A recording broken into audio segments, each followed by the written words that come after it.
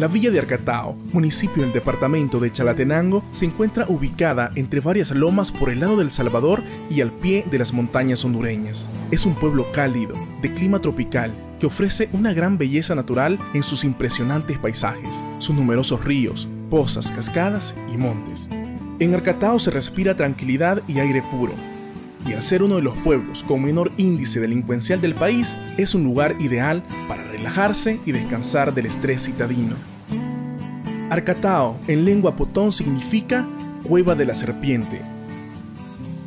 Tres fenómenos importantes han ejercido influencia en el número y estabilidad geográfica de la población de Arcatao a lo largo de su historia. Primero, un copioso temporal que en el siglo XVII les obligó a abandonar la cima del cerro Eramón, su primer asentamiento, por riesgo de inundación. Luego, un voraz incendio en su lugar de ubicación actual. Y, por último, debido a la represión previa a la guerra y los numerosos combates durante la misma, la población decidió migrar a otros países, a las montañas cercanas y a otros pueblos de El Salvador, en busca de mejores oportunidades socioeconómicas. Fue por estas mismas causas por las que muchos arcataenses pasaron a formar parte de las filas de la guerrilla popular. Es a partir de 1986 y con la firma de los acuerdos de paz en 1992 cuando Arcatao inicia su repoblación y el camino hacia su reconstrucción y desarrollo. En este proceso se destaca la importancia de la organización social que ha caracterizado a Arcatao y que le ha permitido gestionar recursos necesarios para su supervivencia material, pero también para aquellos procesos encaminados a su recuperación psicosocial, como lo es el rescate de su memoria histórica o los procesos formativos y educativos para su población, especialmente juvenil. En este sentido, resulta fundamental el papel que ha jugado la cooperación solidaria internacional en forma de hermanamiento entre parroquias. Cabe mencionar aquí el hermanamiento con la parroquia San José Seattle.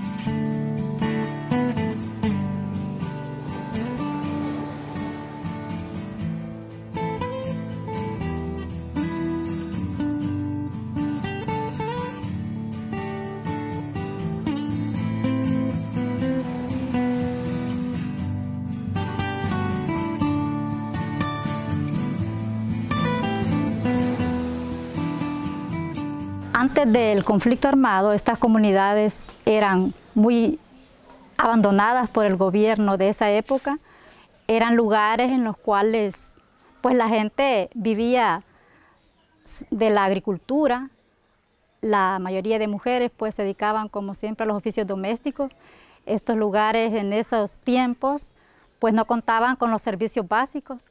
No había el acceso de, de transporte ni siquiera una, calle de, tierra, sino que eran veredas, eran caminos por los cuales la gente se, trasladaba de un lugar a otro.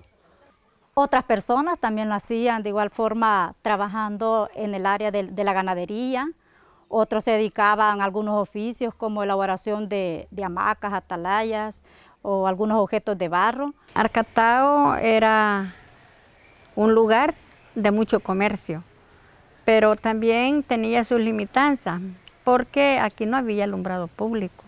Para poder alumbrarse en la noche, el padre Armando Recinos tenía una, una planta, un motor. Este, no, no había agua potable, la gente tenía que madrugar para ir a los pozos a recoger el agua, pero la gente llegaba a las 3 de la mañana a llevar el agua porque si no, no lograba agua. Y también aquí no, no había una atención en la área de la salud. Cuando la gente se enfermaba en aquellos tiempos porque no había carretera, había que llevarlos en hamaca hasta Chalate. Mucha gente se moría en el camino. Después viene la, la guerra civil ya del Salvador yo por esas razones no tuve ese espacio de estudiar, que cuando íbamos al cantón Patamera a la escuela los disparaban.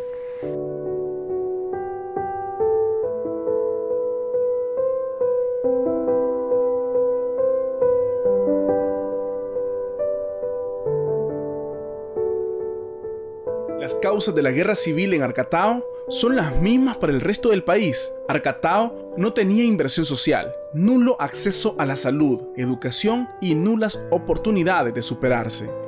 No contaban con una calle de acceso. Fueron cientos los casos de personas fallecidas cuando eran trasladadas hacia un centro de atención en Chalatenango, a 32 kilómetros de Arcatao. Al mismo tiempo, tenemos las causas políticas, la represión desmedida de la Guardia Nacional que hizo presencia con un puesto en Arcatao y que ejercía demasiada represión hacia la población civil. Los campesinos deciden organizarse para defender sus derechos y ante esta organización comienza más represión, más torturas, secuestros de personas que exigen mejores condiciones para su familia, mejores condiciones laborales y repartos de tierras, porque éstas estaban concentradas en manos de la oligarquía y de los terratenientes que explotaban a la población. Es decir, las condiciones en las que vivían los campesinos en ese momento eran totalmente inhumanas, condiciones de pobreza y exclusión. Y así comienza una represión desmedida, no solo en Arcatao, sino también en el resto del país.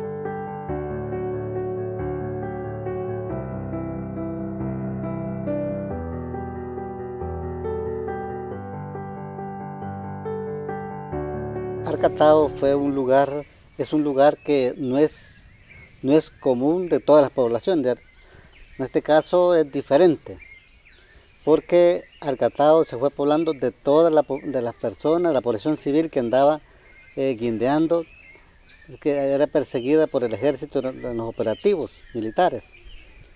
Entonces poco a poco se fue repoblando, primero los ancianos, después las señoras con niños chiquitos y poco se fue poblando.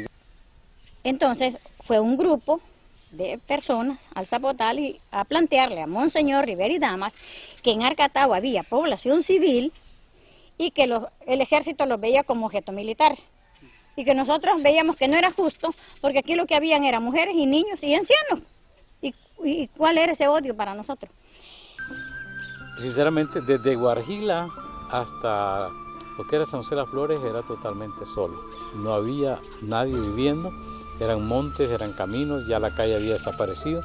Entonces fuimos como reconociendo donde había población. En Arcatao había algunas personas con el temor de la repoblación que había sido golpeada en abril. Íbamos por todos lados con el deseo de encontrar dónde está la población y buscar la manera de cómo acompañarles en su proceso de reconstrucción de sus vidas a lo largo de ese periodo fuimos poco a poco conociendo más las necesidades de la comunidad, como fueron en el campo educativo las escuelitas populares. Inventamos las escuelas. Ustedes podrán encontrar en el museo materiales que inventamos para poder acompañar y organizar a los, a los que sabían leer y escribir, que alfabetizaran a los que no podían. Fue una eh, experiencia muy especial. Saber que de aquella zona que decían que era zona guerrillera, zona comunista, de repente te encuentras que es la gente humilde, trabajadora que quiere vivir, quiere vivir su derecho a la vida y se encuentra con que eh, hay una guerra fratricida por el derecho de que se organiza y exigir justicia. Y así fuimos contando con el aporte solidario.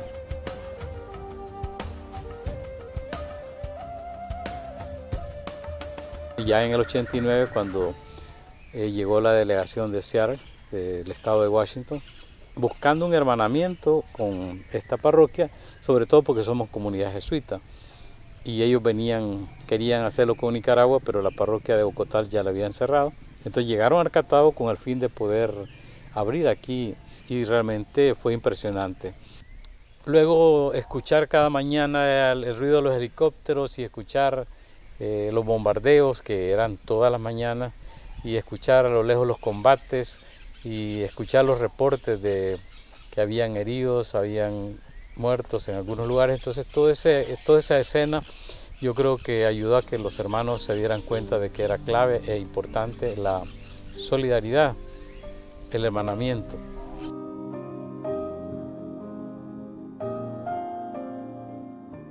apoyan diferente, porque las situaciones de nuestra comunidad van cambiando. En aquel momento era la prioridad los niños. Hoy la prioridad es el agua, la prioridad es la juventud, que también se, sean emprendedores. Todos los jóvenes que están saliendo de la universidad, ellos les están apoyando para que directamente no se vayan, no migren.